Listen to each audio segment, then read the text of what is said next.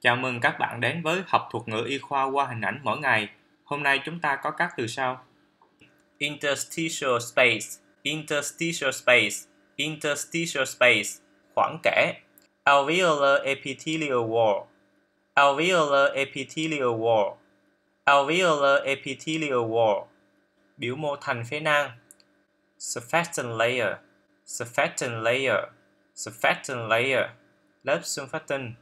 Alveolus, alveolus, alveolus, phế nang epithelial basement membrane, epithelial basement membrane, epithelial basement membrane. Biểu mô màng đáy phế nang, capillary basement membrane, capillary basement membrane, capillary basement membrane. Màng đáy mau mạch, diffusion of oxygen, diffusion of oxygen, diffusion of oxygen. Khuếch tán oxy, diffusion of carbon dioxide diffusion of carbon dioxide, diffusion of carbon dioxide, khuếch tán CO2, red blood cell, red blood cell, red blood cell, hồng cầu, capillary, capillary, capillary, mao mạch, capillary endothelium, capillary endothelium, capillary endothelium, nội mô mao mạch.